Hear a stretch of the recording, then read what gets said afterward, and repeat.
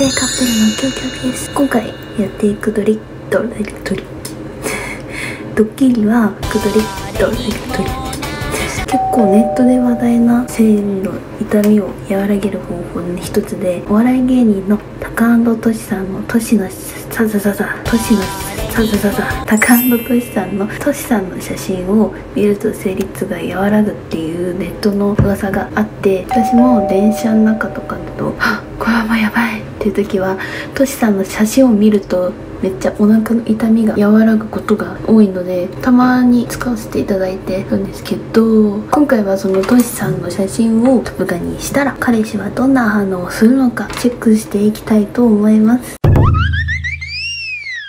朝お化粧直してくるちゃんちゃん。ちゃ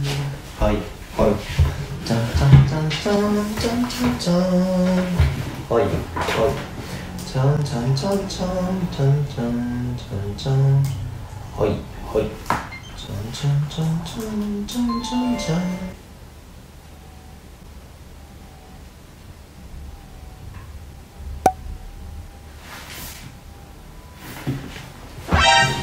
どうしたってなんかブンブンしてるけどなんかインスタの通知めっちゃ来てるけど。ない夢も止まれない何これ？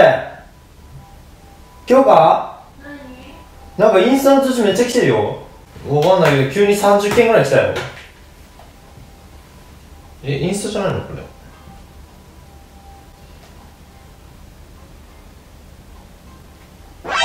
なちょっと待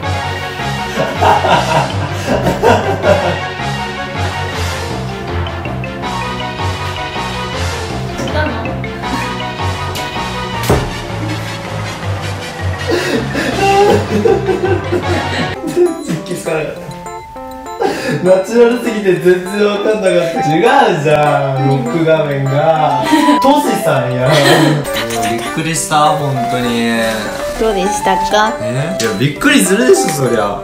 こんなん。びっくりする生理痛が和らぐ画像です笑っちゃった。めっちゃ笑った。爆笑した。笑うんだね。やられたもんね。あやりした。やっちゃった。以上。